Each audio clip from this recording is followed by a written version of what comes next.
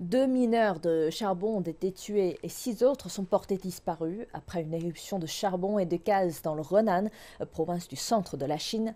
Les autorités locales annoncent que l'accident s'est produit vendredi soir dans une mine de charbon de la ville de Ropi. Les secouristes ont dégagé le tunnel sur 54 mètres et il se trouve à 53 mètres du lieu de l'explosion. Pas moins de 27 sauveteurs sont à la recherche des mineurs disparus.